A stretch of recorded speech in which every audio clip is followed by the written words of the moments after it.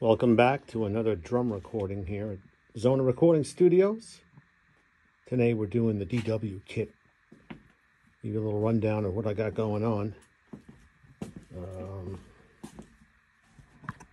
here on the kick drum we got a Audix D6 on that kick drum. Right above I got my rack tom and I have another condenser mic in here. That's, I don't know what it is. I think it's uh, Electro Voice, I believe.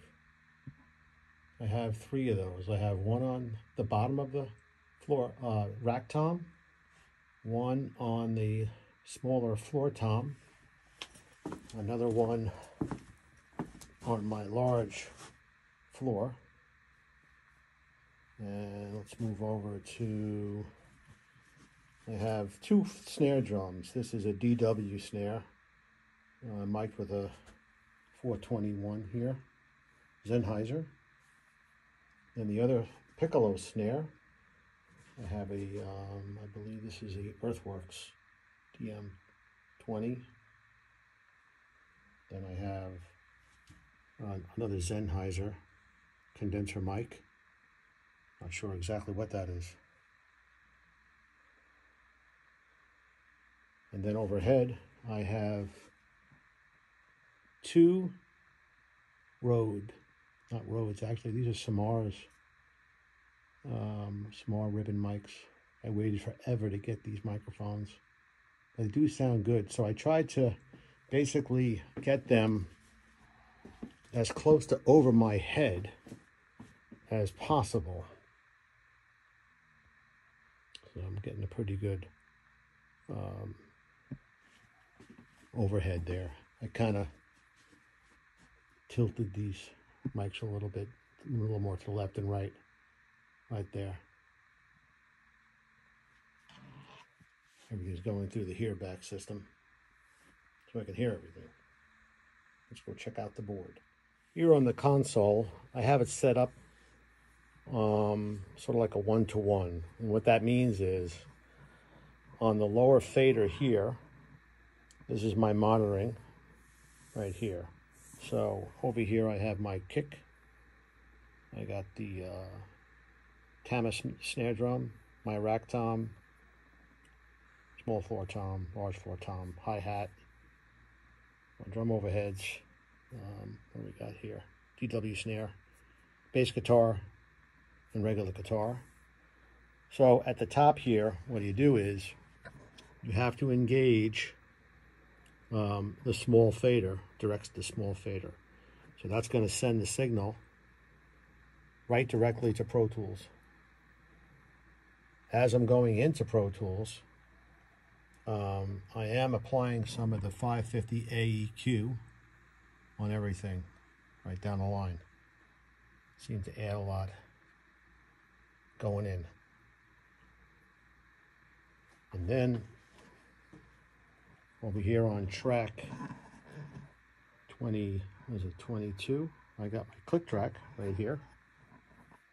And then the return for my effects are coming over here on 23 and 24. So this way you can um, regulate the amount of effect to the, to the track. Um, what you want to do though also is enable on the console, you want to enable your uh, aux 7 and 8 and then make it pre so that you can set up a headphone mix that's separate to the engineer's mix. So whatever I do here won't affect the large fader. So here we are back in the uh, control room here. Um, let's go back to what I did. Um, so I have it spread out on the console here, uh, all the different uh, tracks so I can solo stuff. So let's do that. Let's let's solo stuff. So let's. Uh, I'm just going to hear the. Let's hear just just uh, the kick drum. Mm -hmm. Let's just do just a kick here. So, um,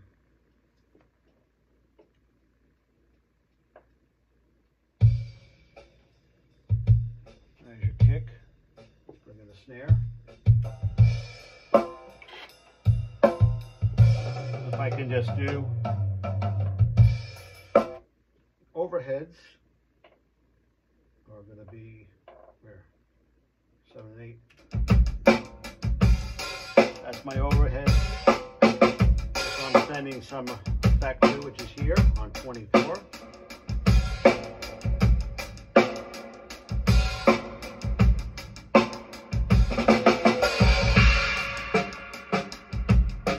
That's just the overheads, right? You have the whole kit.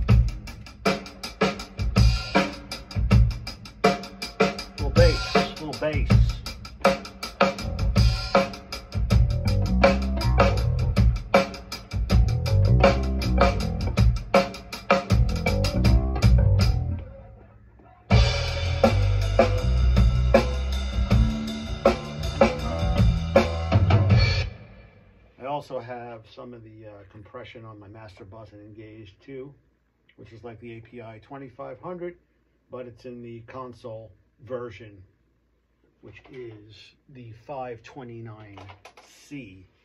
I guess C stands for console. I really don't know. Um, what else? That's really it. Um, as I was saying in an earlier video, um, I just uh, upgraded to um, Pro Tools Ultimate with HDX, and it's a freaking dream. Um, no latency with when you're tracking with the plugins. Um, it's just it makes playing a joy, and and also it's stupid um, stable, you know, as well. Any questions? Reach out. Peace.